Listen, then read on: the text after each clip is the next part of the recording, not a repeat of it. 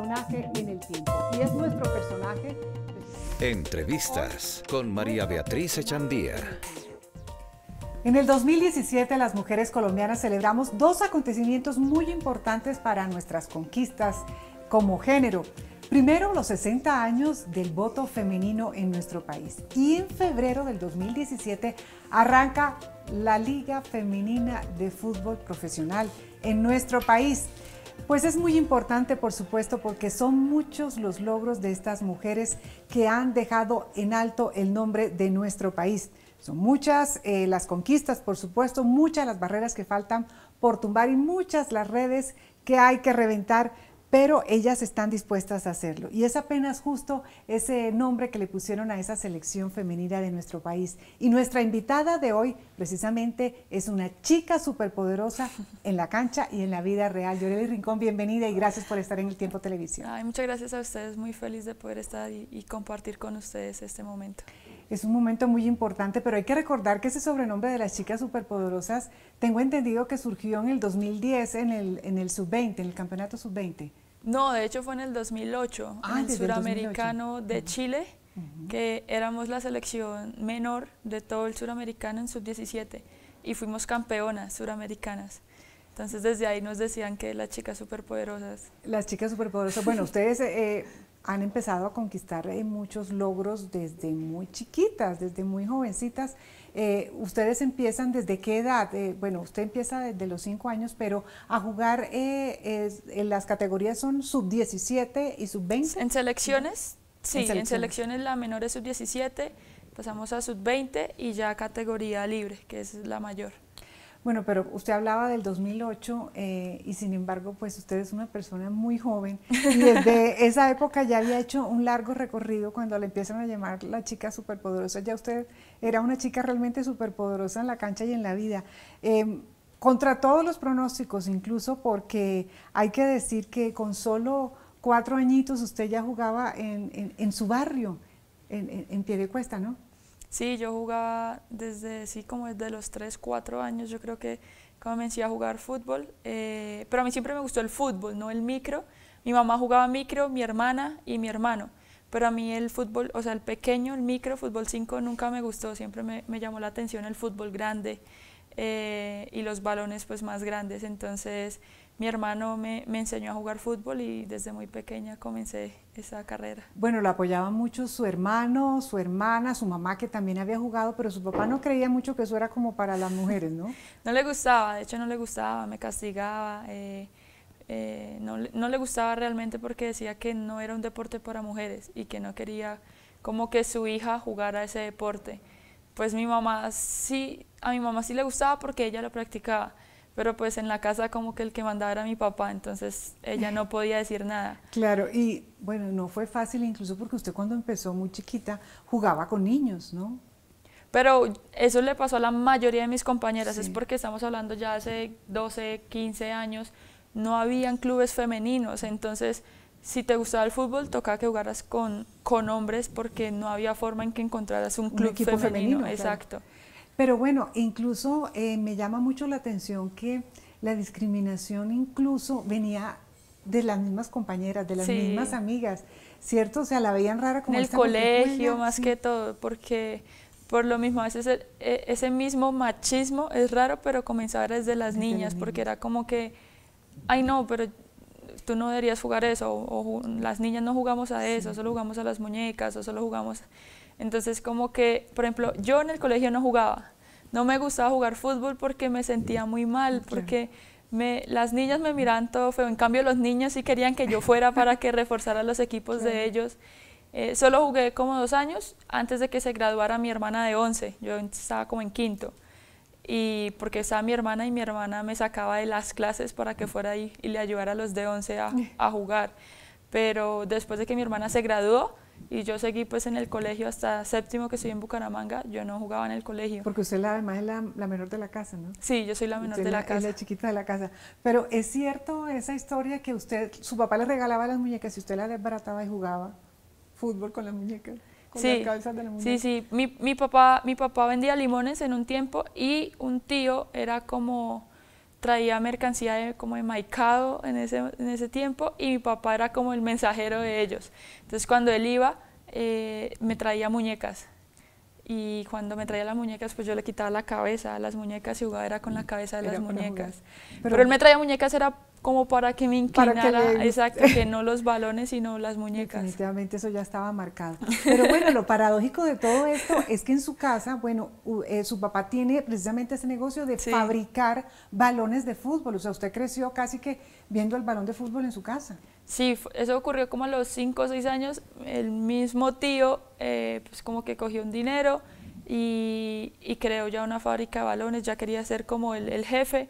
Mi papá empezó como empleado de él y después de un año mi papá eh, le sacó como un préstamo a él y él sacó su propia fábrica. Entonces yo tenía como seis años, siete años cuando comenzó la fábrica de balones. ¿Y todos en la familia trabajaban? Porque no había plata para, los, em, para tener empleados. Entonces, claro, mi papá nos negriaba. No, claro, entonces era más fácil. Nosotros trabajábamos, entonces yo hacía una parte del balón, se lo pasábamos, pasaban de mi hermana, de ahí pasaban de mi mamá, de ahí pasaban de mi hermano, los terminaba y mi papá yo los vendía. Entonces, mientras mi papá iba los vendía, mi hermana y mi hermana los sacábamos los otros a la calle a jugar y a probarlos. Pero es increíble cómo la vida le va marcando, porque usted sabe hasta cómo se hace un, balón de fútbol. O sea, sí, yo aprendí desde muy pequeña. Desde, muy, pequeña. Eh, bueno, su papá le regalaba las muñecas, pero su hermano le hacía las canilleras con cartón. ¿Cómo era eso? Él, era el que le ayudaba. Bueno, fue como, ya, ya tenía como siete años más o menos, entonces eh, dos, hay dos amigos míos con los que yo jugaba en la cuadra Sebastián y Jayito. Y ellos, el papá de Sebastián hizo como un club, pero de ahí de los niños del barrio, es que todos teníamos la misma edad, 6, 7, 8 años. Y, y, era solo ahí como el barrio, entonces él dijo, montemos un club de niños. Y él empezó a hacer, pero eran partidos ahí entre barrios. Entonces él convenció a mi papá que me dejara jugar, pero pues eso no era nada profesional, sino era ahí en el barrio que jugábamos. Pero era una cancha de pasto. Entonces ya era la primera vez que me tocaba tener como, unos guayos, exacto. Y mi papá como nunca quiso, me compró unos guayos, costaron como 10 mil pesos. y eran tres tallas más grandes que para que me duraran muchos años y así no pedirle más. Entonces mi hermano me, los, me rellenó los guayos de papel higiénico para, porque ¿Para, mi pie, para que me cupiera apenas la mitad del pie y la otra mitad estaba rellena de papel higiénico. Así? Pero me tocaba. Y no me compró canilleras, entonces como teníamos la fábrica y las cajas donde guardábamos los balones y eso, entonces él lo que hizo fue la forma, como la horma de las canilleras y, me las ponía acá, entonces me las ponía y encima me ponía las medias, entonces ahí ya quedaba como el bulto de la canillera. Lo malo era si llovía, porque si llovía se me dañaban las canilleras.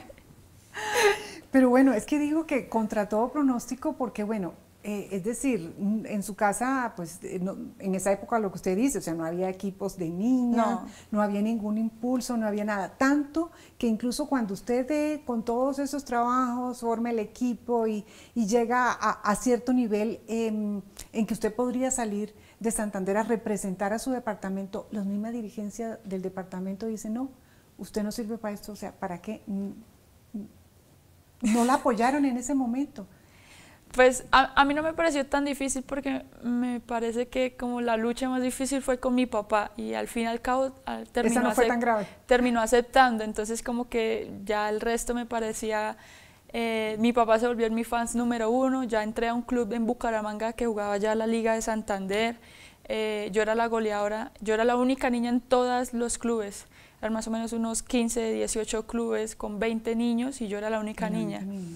Pero ¿por qué entonces en Santander eh, no la apoyan y usted se va para el Tolima? Porque hubo, llegué como a los 11, 12 años y la Liga de Santander me dijo que ya no era bueno que siguiera jugando con niños, pero el tema ya del crecimiento, del desarrollo, todo esto, que me metiera ya hacia las niñas. Entonces en Colombia se hace el campeonato nacional y pues ese año era sub-20, entonces yo hice como una prueba en la selección Santander femenina para representar a Santander y pues jugar los campeonatos nacionales que se hacen acá en Colombia. Pero además usted se va a vivir, eh, o sea, usted va a una prueba al Tolima. Sí, pero no me aceptaron, ahí fue cuando yo fui a la prueba, me dijeron que yo no servía para el fútbol, o sea, que no me aceptaban en Santander porque si seguía jugando fútbol, lo que me decían era que yo no iba a ser nadie en la vida, que me dedicara a estudiar. Entonces ahí fue cuando con mi técnico, el de, el de los niños, él me grababa y yo no sabía, él me grababa todos los entrenamientos y todos los partidos y él tenía ya casi una película, un recuento mío. Y yo no sabía que él tenía esas grabaciones. Y él envió todas esas grabaciones a diferentes departamentos, que fue Valle, Antioquia, Bogotá y Tolima. Y respondió Tolima. Entonces ellos me dijeron como, le vamos a dar una prueba, le vamos a dar una oportunidad, pero tiene que venirse. Y usted va a una prueba que es por unos, o sea, una, tres a días una prueba tres días y se queda casi que dos años. Sí, fueron tres días, entonces esperamos como las vacaciones de mitad de año del colegio y yo dije, no, yo me voy, yo tenía 11 años, iba a cumplir apenas 12. Y yo le dije a mi mamá, yo me voy y otra vez mi papá no quería que yo me fuera. Entonces tocó un, poco de días y convenciéndolo con mi técnico, Víctor, que era como, déjela, es una oportunidad, no sé qué. En fin, fue que me dejó y yo fui los tres días. Yo fui con mi mamá, pero porque todos pensaban que a los tres días lo mismo, me iban a devolver y pues iba a seguir igual mi colegio normal. Y yo llegué allá y el primer día era un partido de fútbol. Entonces me dejaron jugar solo como 10 minutos, fue muy poco. Y cuando terminé, el técnico John Agudelo me dijo, ¿usted trajo los, los papeles del colegio? Y yo le dije, no, porque yo estoy en vacaciones. Y además usted me dijo que solo tres días. y él me dijo, no, dígale a su mamá que se devuelva y que le mande los papeles y que ya no vuelva ella porque pues ella no se podía quedar. Que se queda aquí. Y que usted sí se queda acá y le vamos a dar colegio y vivienda y me daban alimentación y todo. Y ahí fue cuando arranqué con Tolima a jugar. Es increíble toda esa historia, porque además empieza usted toda esta lucha en contra de tantos estereotipos, en contra de, la oposición del papá, bueno, de los prejuicios de, los compañeros, en fin. Eh, y tan jovencita usted, tan decidida a hacerlo, eh, que se viene para Bogotá. Y así va dando los pasos, o sea, llega a Bogotá eh, con, ¿qué, 14 años tendría? Tendría 14 años cuando, cuando llega a Bogotá. Tenía, sí, Sí, sí, sí, y, iba, ya en esa, 15. Y llega en esa etapa, logra un título suramericano. O sea, eh, eh, no, bueno, fui campeona, todavía estaba en, Tolima. O sea, acaba de pasar apenas año y medio que me habían dicho que no servía para el fútbol. Llegué a la selección Colombia, jugué un año con selección Tolima, pasé a la selección Colombia, pero igual cuando seguíamos siendo selecciones departamentales. Y ahí fue que fuimos campeonas suramericanas y clasificamos al primer mundial. Eh, y ahí pues ya me empezaron a decir como que mejor me viniera a Bogotá a estudiar inglés, a, estudiar, a terminar el colegio, jugaba con la selección Bogotá y, y, pues ya podía como mucho más fácil encaminarme como hacia una universidad en Estados Unidos. Tomé la decisión de venirme para Bogotá. Son muchas las decisiones en tan corto tiempo, además unas decisiones que usted tomó eh, muy niña. Eh, y eso va a marcar definitivamente todos los logros que, ha tenido Yoreli Rincón. Vamos a hacer una pausa en este momento porque se nos va muy rápido toda la historia de Yoreli, eh, pero regresamos en un momento para que nos siga contando cómo es esto, la llegada eh, al exterior, ese primer equipo eh, profesional de fútbol al que usted llega en Brasil. También vamos a hablar de ese momento difícil de su carrera, del momento más difícil de su carrera, cómo es recibir órdenes en sueco, cómo es aprender un idioma a la carrera, en fin, todas esas aventuras y todos esos eh, grandes logros de Yoreli. Vamos a la pausa y ya regresamos. Nuestro personaje en el tiempo. Y es nuestro personaje. Entrevistas con María Beatriz Echandía. Personaje en el tiempo. Y es nuestro personaje. Entrevistas con María Beatriz Echandía.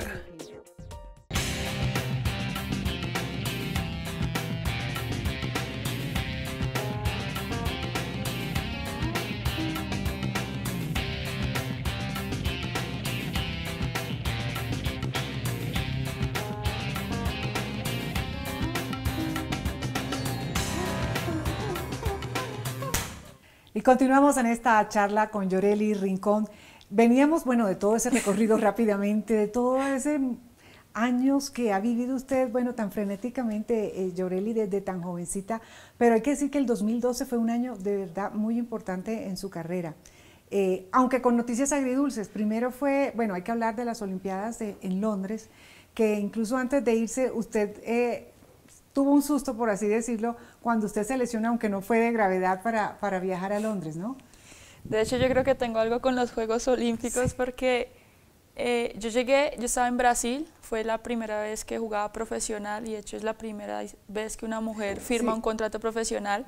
Entonces yo estaba en Brasil cuando mi, mi convocatoria fue muy antes a los Juegos Olímpicos, yo creo que fue como 20 días o 25 días antes de viajar a Londres. Yo llego, me instalo, comenzamos a entrenar y a la semana, o sea, si fue 20 días, o sea, 15 días del viaje, a mí estamos jugando con niños también y me pisó un niño. Entonces, a la hora que me pisó, yo giré y el dedo, el dedo chiquito se me quedó.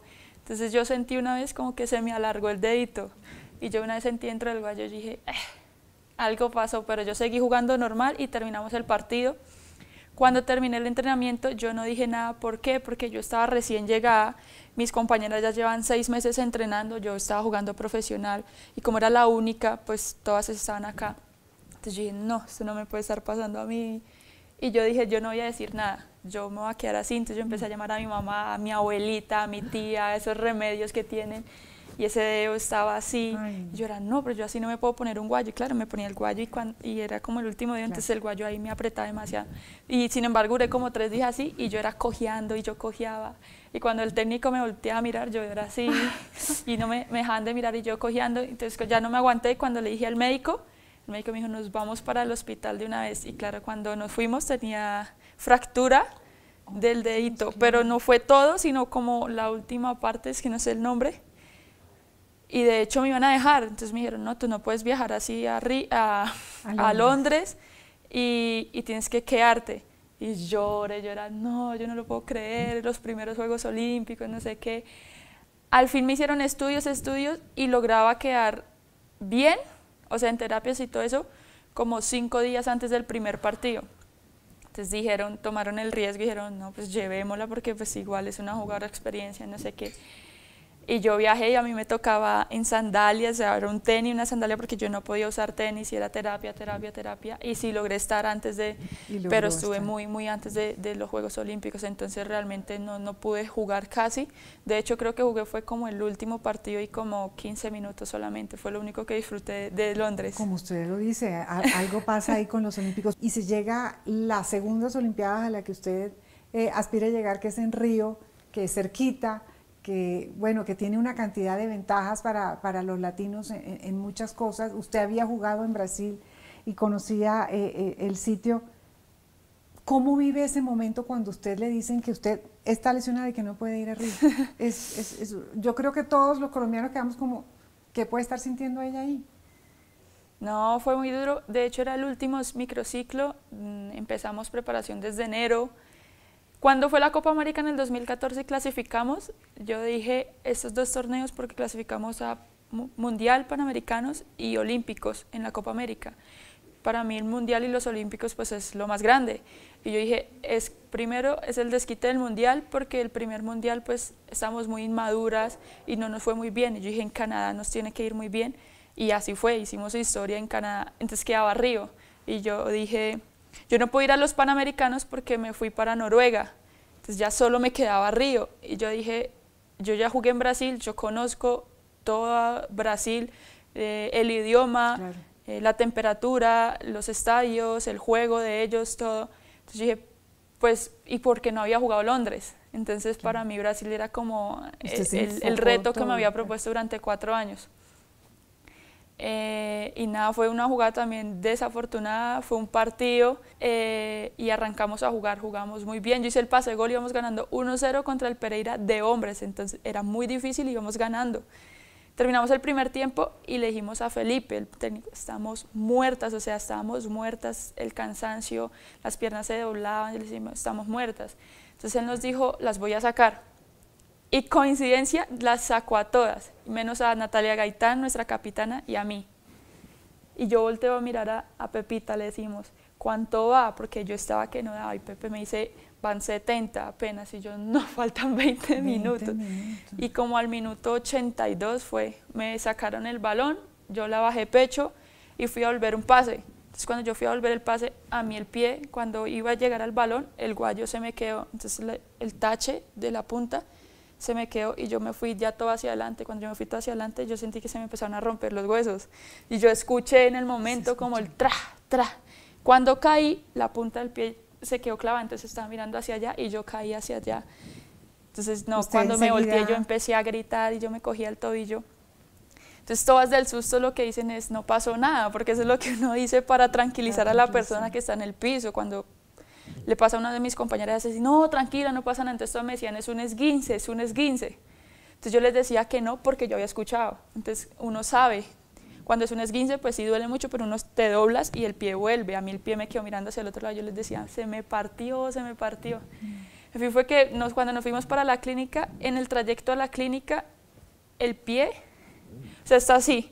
Entonces en el trayecto a la clínica iba la punta así, iba así, iba así, que cada vez iba como torciendo más porque el hueso, el, el, tobillo interno ya iba saliendo, saliendo.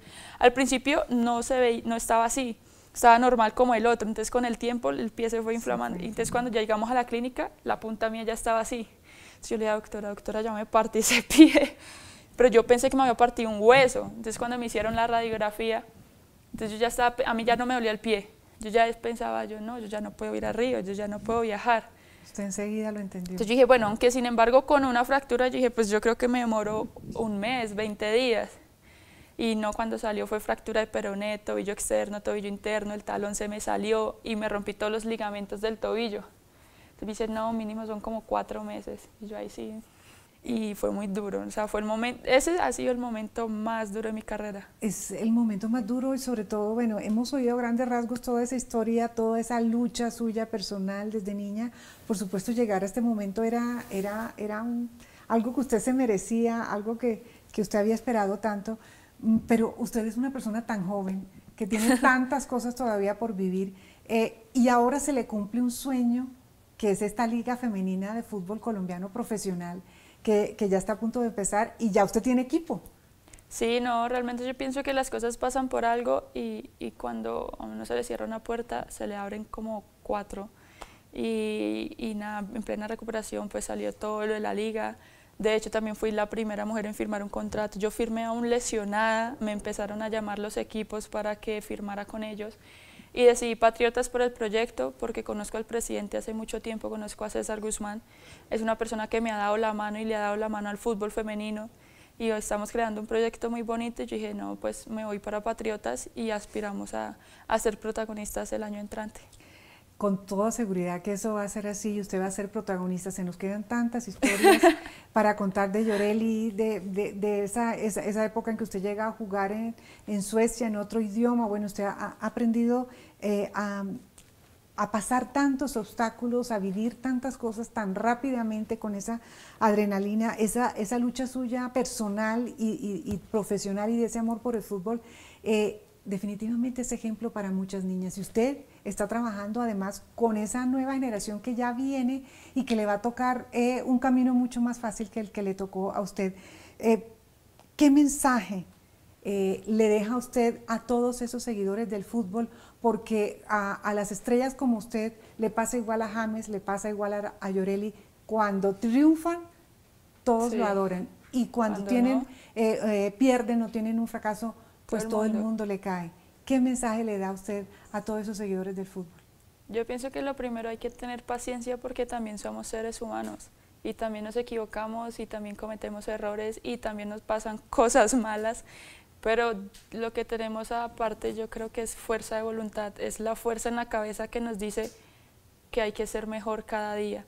Yo sobre todo le digo a las niñas que tú dijiste algo muy importante, la tienen muy fácil de ahora en adelante, o sea, y es algo que nosotras luchamos para que fuese así y no como nos tocaba a nosotras, sino que van a tener equipos, van a tener una liga, van a haber divisiones menores, muchas más selecciones, mucho más apoyo, mucho más dineros para las mujeres, que aprovechen, que vivan como se debe vivir, que el deporte es vida, que el deporte es salud. Si les gusta el fútbol, que lo hagan, pero con disciplina. Y muy importante a los aficionados, que tienen que apoyar el fútbol femenino. Sí, el fútbol femenino a partir del año entrante, que nos acompañen al estadio y que podamos irnos robando esos corazones poco a poco. Esperamos que así sea para que apoyen a todas estas chicas superpoderosas, por supuesto, que eh, nos enorgullecen tanto a lo largo de todas sus conquistas y todas las que les esperan. Yoreli, de verdad, mucha suerte, muchos éxitos y gracias por haber estado aquí en el Tiempo Televisión. muchas gracias a ustedes y gracias a, a todos los televidentes que están ahí pendientes siempre. Un abrazo. Un abrazo para todos, claro que sí, y a ustedes gracias también por su sintonía. Continúen en la programación del Tiempo Televisión Noticias Bien Explicadas.